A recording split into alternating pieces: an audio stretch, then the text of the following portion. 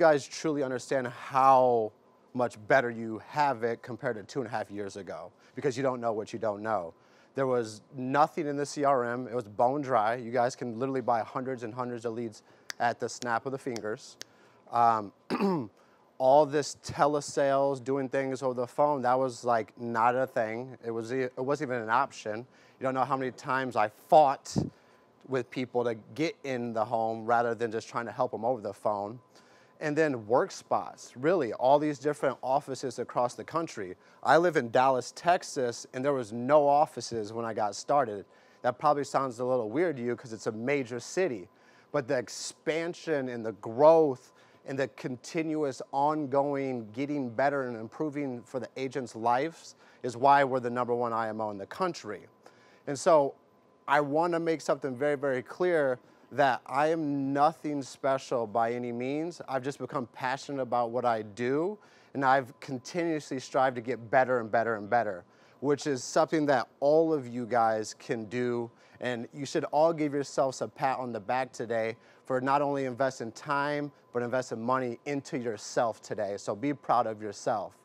Um, but really, what I want to touch on for you guys is schedule and structure a lot of you guys are new. With the raise of hands, how many of you feel overwhelmed? Okay, so about probably about half of you guys. There's a lot to this business. There, there, there definitely is. And without good schedule and without good structure, it's even more challenging, right? And they pretty much have laid it out there pretty easily as like a blueprint for us to be successful. But there's they generalize things. You know, uh, Tuesday, Wednesday are run days. Friday, Saturday are run days. And to you, you just think, okay, people are just out there running eight, nine, ten appointments. I'm sitting here with four. I'm not as good as them. But I promise you, what a run day really means is a 10 to 12 hour work day.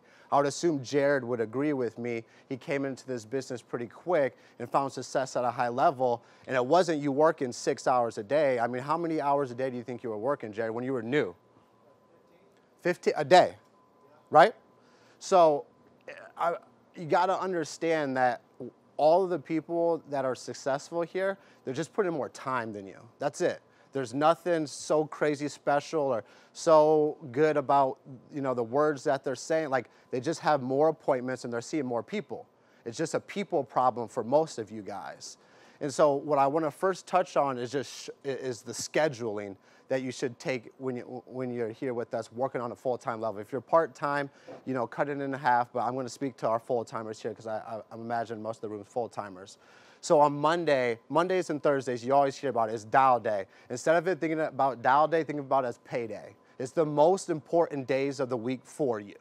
If your if your Monday is poor, your Tuesday, Wednesday, Wednesday is going to be poor. If your Thursday is poor, your Friday, Saturday is going to be very poor as well. So these two days of the week are the most important days. These are the days where you carve out the entire day. There's no doctor's appointments. If you got kids, get someone to try to arrange you know, pickup times with them, whatever it is, like you got to protect your dial time because that's to lead to your results the next two upcoming days.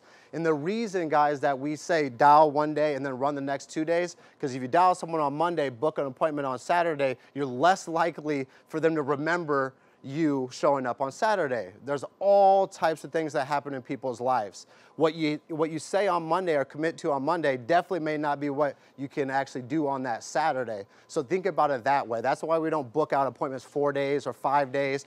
We can't be upset when they're not there because life happens, things, you know, hit the fan, whatever. And, and life insurance specifically, unless you went through a tragic situation, it's not something that people really like to talk about. So it's really easy to forget about, more or less. So on Mondays, I think it's crucial that you set yourself up for success by the way you start the morning. If you win the morning, you can win the day. If you don't win the morning, you're going to lose the day. So what that routine looks like needs to be consistent every Monday and Thursday. Your routine, your routine on Tuesdays and Wednesdays, Fridays and Saturdays can be a little bit different than your Mondays and Thursdays because those are the most important days. So personally for myself, I'm not the 4 a.m. or 5 a.m. guy, I'm the 6 a.m. guy. But I promise you guys, I have that internal alarm clock go off every single morning where I don't even need to actually set an alarm anymore. My mind just wakes up maybe 6.05, 6.06, but it gets up right around 6 o'clock because there was consistency behind that. When you do something for 21 days straight, it just becomes a habit. That's a fact. So if you can change up your habits the next 21 days, you'll, you'll build new habits with whatever you're trying to accomplish.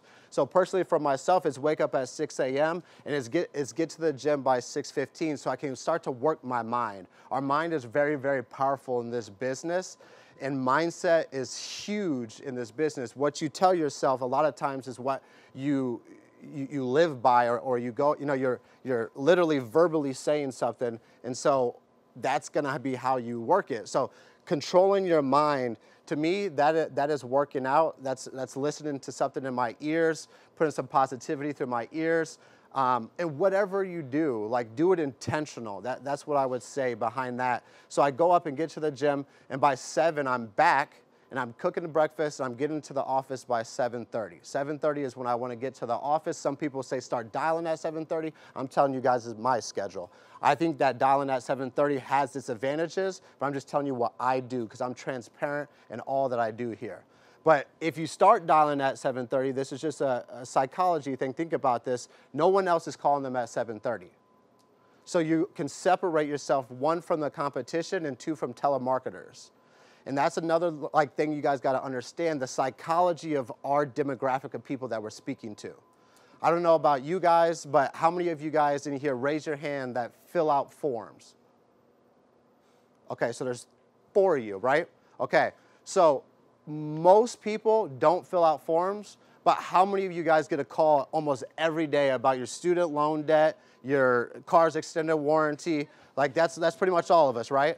So we're not we, are not fill, form fillers, right? But people who are filling out forms, imagine how many more phone calls they're getting about extra BS. Their information getting sold here, getting calls from here and here and here. So you have to understand when you're dialing the phone that you have to separate yourself from being a telemarketer. Now, I was sharing this earlier with a group if you're struggling with getting people on the or maintaining people on the phone, just add this into your phone script. Hey Trey, hey Trey, this is Gage. I'm not a telemarketer. I'm actually getting back to you about the form you filled out. You saying that little word track right there, one, separated yourself from being an actual telemarketer, but you just bought yourself an extra three, four, five seconds on the phone, which if any of you guys have dialed the phone, that's an eternity.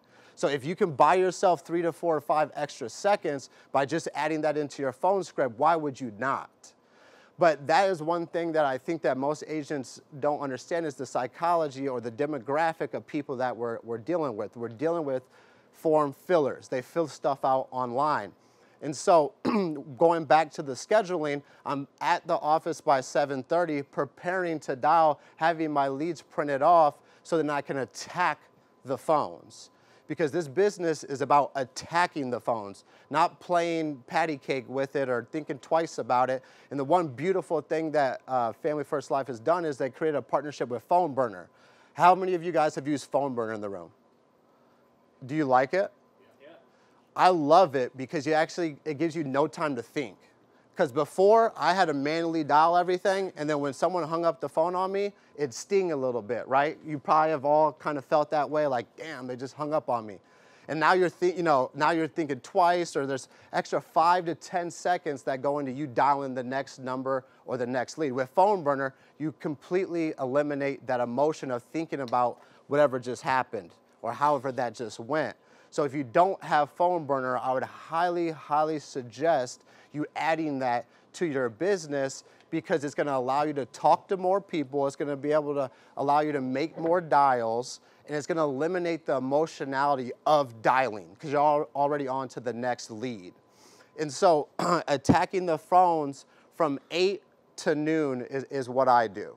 And the reason I do that is because I don't want to dial for eight hours straight. I want to give myself a breather. I want to give myself an, a, a time frame where I can step away from my desk go to the kitchen, make some food, go outside, get some fresh air, whatever it is. So then we can literally break down our, our dialing into two segments, the morning segment and the afternoon segment. Because I don't know about you guys, but it's just hard for me to dial eight hours straight.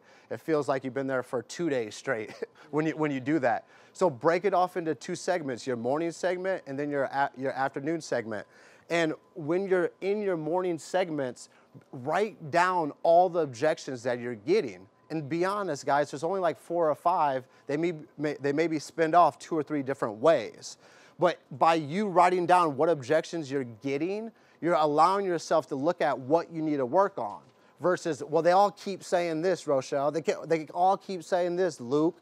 And it's like, I get it. You can generalize all these different people into one category, but if you actually are intentional with trying to figure out how you can overcome it, in that hour break or 30 minute break, you can call your manager, you can call your vice president, you can call someone on your team and say, hey man, you know, I've dialed X amount of leads, I've uh, talked to this amount of people, I booked this amount of appointments, and these are the common objections that I'm getting. Is there any way you could help me, you know, try to overcome these objections? So then you're not going all day with getting the same objection and not learning how to overcome it. So when you break it into two different segments, you can utilize that hour time to improve the afternoon session. And what you may lack in the morning, you can make up in the afternoon with activity. But I think it's super, super crucial that you guys use a dial tracker.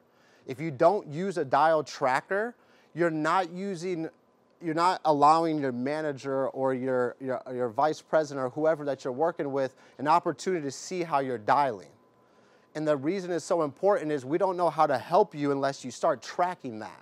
So if we don't know how many people you actually dialed or how many dials you actually made versus the amount of contacts that you got and the amount of appointments you booked, then we don't know where to coach you up on. Now it's just you going off of, you know, maybe a one time situation that you're categorizing as they're all saying this, if that makes sense. So if you're if you're making, let's say you made $200 in the morning and you got three people to pick up the phone and you booked one appointment, it's not that you're not able to book appointments, it's, it's that you're not getting enough people on the, on the phone. So if you're not getting enough people on the phone, we need to change up your dial pattern, how you're attacking the leads. Something that uh, we got shared with us uh, about a month ago from John Wetmore is like if you're not getting enough people to pick up the phone, break your leads down into quadrants of 25 or 30 leads at a time. You can do the same thing with Phone Burner. Just go in there, make the CSV file 25 or 30 leads, and then you can upload them, and then you attack the leads. So you dial them three times through, right? Back to back to back. And if they don't pick up the phone, you just flip them over to did not contact yet, right? So the idea behind these 25 leads is you want to get five people to answer the phone, four of them to pound sand, one of them to book an appointment. That's a realistic ratio when you're blowing somebody up that much. And then once you get through those leads, you turn them back over. Now you got 20, and you do the same thing. You triple dial them, and you're trying to get you're trying to get five people to pick up the phone, four of them to tell you to pound sand, and you booked one appointment. And if you book anything more, that, that's great. But you should go in with the expectation that four of the five are going to tell you to pound sand, they're not interested, don't call me back, the whole nine yards. But the whole goal of that is to get people to pick up the phone so then you can improve your talk time. Does that make sense? Okay, cool. Because it just clicked in my head when you had this daunting list of 75 leads or 125 leads and or 150 leads that you're down through on a dial day, it seems like a laundry list that you'll never get through. But when you break it down into 25 or 30, it gives you the ability to get people to pick up the phone and once again work on your talk time. That's what this is about. Your goal is dials and talk time. Everyone projects the, the 15, you know, 15 appointments is what you should be shooting for, but we can't always control the amount of people that pick up the phone. We can't always uh, control if they're going to be home or if they're busy in the next two run days. But what we can control is dials. And there's power in saying, I'm going to do this, and you do it. Just like if you say, I'm to wake up at 6 a.m. and go to the gym, you won because you told yourself that the night before and you did it. There's power in that. So the small things lead to the bigger things. What we can't control is the amount of dials that we make in a day. If you get, give yourself a drop dead goal and then a lofty goal and you, and you fall in, anywhere in between, I think that is a huge win because you told your mind that I'm gonna do this and you went out and did it. So that is something to celebrate in itself. And we get so caught up in this business watching the highlight reels of the top producers like Jared. and you think that, okay, if Jared's goal is to write 40 in a month, then that should be my goal too. And then we're easily disappointed because we don't understand that Jared's working 15 hours in a day.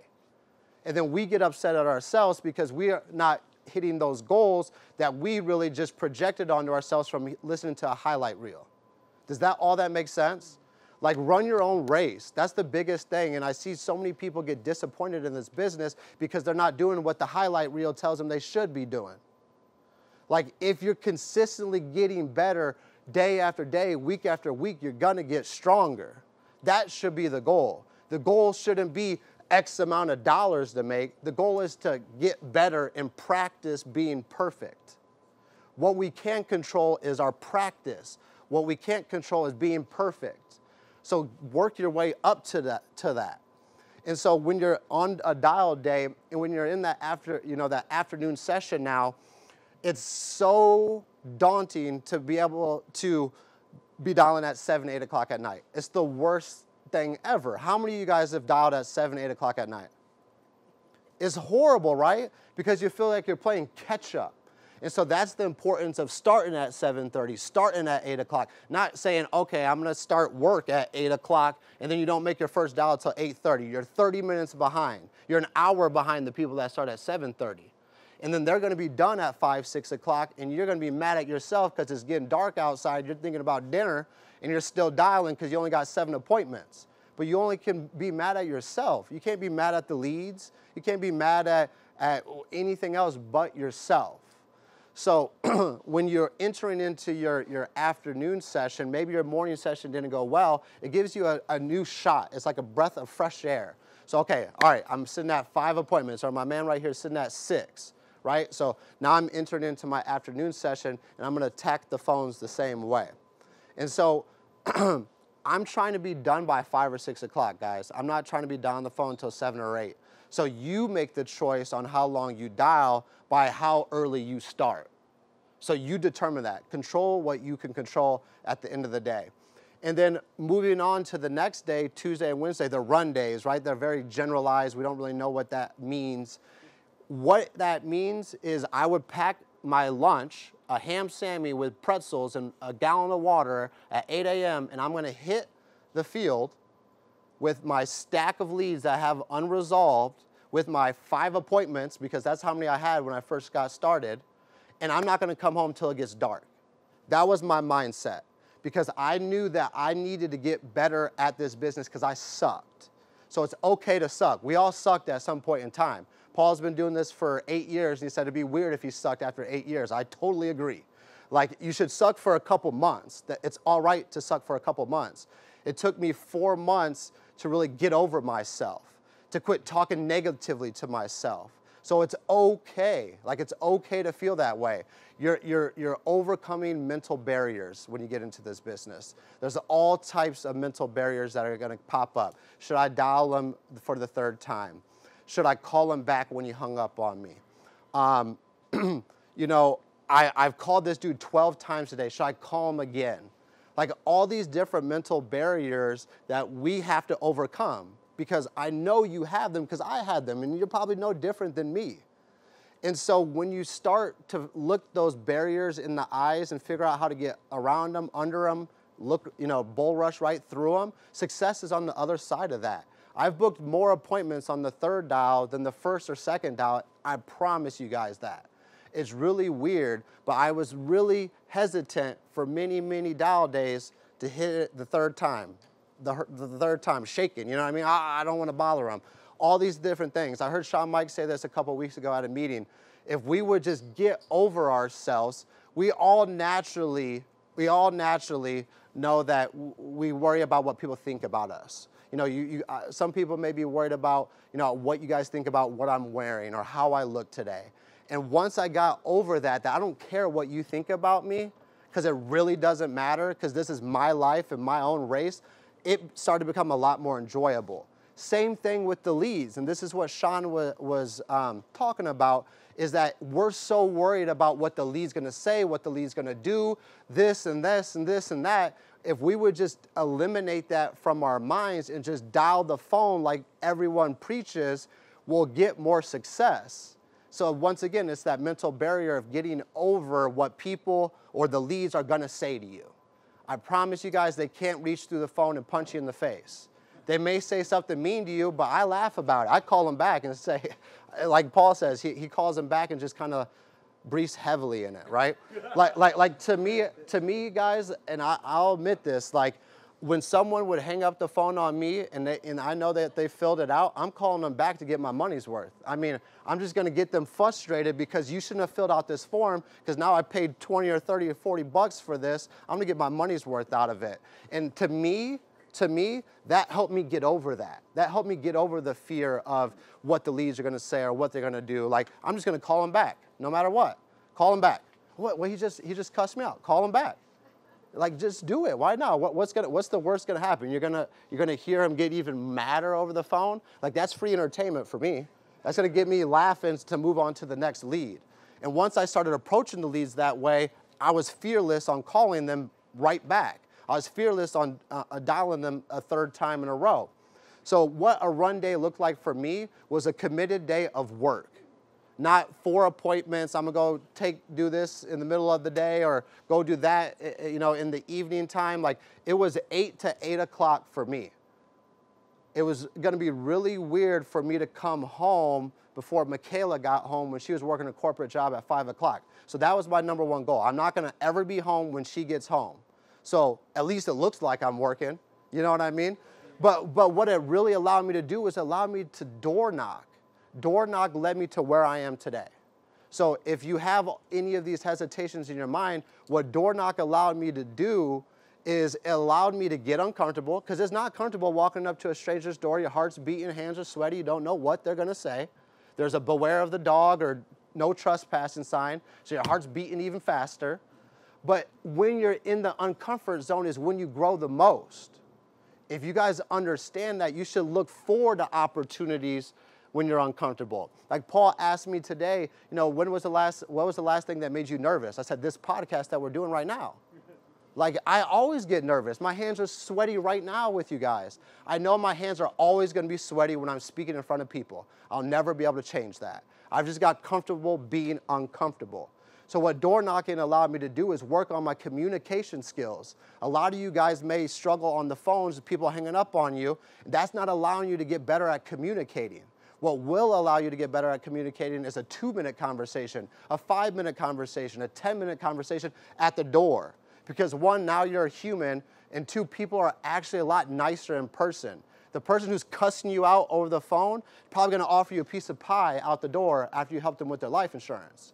So, like, don't generalize these people off of a phone call. So many times people hung up the phone cussing me out, and I showed up at their house, and they're actually really nice. I was like, okay, I'm understanding this. They're getting bombarded with phone calls. I actually took the time to get out there and show them I'm a human being and I actually care about their family. And even if they told me no, I at least got to have a conversation back and forth, which allowed me to increase my communication skills. And this is a communication business. So door knocking saved my business and allows me to speak with you guys today. So don't think you're too big or too small to do the little things that matter if you're not getting the results you want over the phone, you can make up with the activity in the field. I promise you guys, there's no better way to sell life insurance than in person. We're doing all these telesale things, virtual sales, all these different approaches of doing things over the phone. But if you're new and you want to do that, no, you're going to have to buy more leads. You're going to have to, you're going to, have to dial the phone longer because you're going to have to learn how to overcome those objections when the, all they have to do is hit the red button and then you're dead in the water. So if you're new, I highly suggest for you to get out in the field and to protect families in the field because you're going to be able to get two or three no's in the home and still be sitting at the table. Whereas if you do it over the phone, it's the red button and you're dead in the water, number blocked, and, and, and you're like, man, I almost had them. But if you're in the home, you can actually overcome some objections. So then you know how to overcome those objections on the phone. Does that all make sense to you guys? Okay, cool. So I just made a conscious decision on run days that I was gonna go out in the field and work. Th- that's it. That's what a run day looked like to me. I was gonna be out all day. I, I eliminated all these different distractions in my life. I was I love Sports Center and I'm a sports fanatic. but I understood quickly that I could make the type of money these athletes are making. So why would I waste my time watching them do their craft when I could spend that time mastering my craft? And so I gave that up. I gave up listening to music in the car. The reason why the field was so effective for me at the beginning is because it was car university for me. It was podcast after podcast, training after training. It was phone call after phone call in between those downtimes. I couldn't tell you the amount of times I dialed in alleys, parking lots, on the side of the street just to keep working, to keep getting better. This is just a repetition type of business. So as far as scheduling goes, that's what Tuesday and Wednesday would look like for me when I was new. And it sounds like a lot of you guys are new, and that's all duplicatable actions that you all can take. It's just a choice that you guys have to make. And so utilize that windshield time with the different podcasts. And then Thursday is the same thing. We're starting right back over. And when my business changed, guys, is when I got out of my apartment and I started going to the office. There wasn't an office when I first got started, so I didn't have that luxury. You know what is, you know what sucks really, really bad? Could anybody guess? Dialing the phone alone because it's like, man, uh, uh, uh, man, uh, uh, uh, all these different things can pop up in your mind. But when you're here and you see this guy get hung up on, and then this guy's dialing the phone, and this guy's in his intro, what do you want to do? You want to keep dialing the phone. So be in an environment, immerse yourself into an environment where you can get better every single week. I started looking forward to going to the office because I could get around Rob Richmond. I could get around Jesse Parley. And these dudes were Hall of Fame producers. So why would I not try to get myself into that circle? I earned his respect in time by showing up every single Monday and Thursday. I actually really enjoyed it because they weren't a part of my group. And that's what the best part about Family First Life is, is we're all on Shawn Meaike's team. It doesn't matter who brought you in, what brand you're under, it doesn't matter. We're all under the Family First Life umbrella. And so I look forward to those Mondays and Thursdays because I didn't communicate with those guys. I didn't see those guys in Slack. And so it was an opportunity for me to not only get better and to hear their word tracks, but to pick their brain apart. And you will earn someone's respect by consistently showing up. I promise you that. Because where most people sell themselves short is if they have a bad week or a bad month, they quit showing up. I promise you, I'm only here today because I didn't quit. I quit all my life, guys. I promise you. Quit sports, quit school, the whole nine yards. But I made a decision that I will not quit this business. And if you make that same decision, you can't fail here. You just got to keep showing up. You got to keep showing up Monday, Thursday. You got to keep listening to the calls. There's literally four to five calls a week for you to get better. And there's some of you guys who are like, is there a recording for it? Acting like you're going to listen to it. You're not even going to listen to it. So why don't just make it as a can't miss opportunity to grow? They're consistently putting these out there for you to get better. And you're making a choice by not listening into it. You're making a choice by not plugging into it. You're making a choice not to get better. Like we're getting, we're giving all these tools and resources and trainings for you to get better, and you're literally choosing not to because you're independent. Like there's no difference between me and you. I just didn't quit. I made decisions that I was going to get better every single week. And, I, and I, I leveraged, I would say that's the best word, leveraged the resources and tools that are provided to us. This is a leveraging business. You don't need to know anything. This is a copycat business, to be quite honest with you guys. And so, as far as structure goes, you need to structure your, your, your work and whatever your, your life is.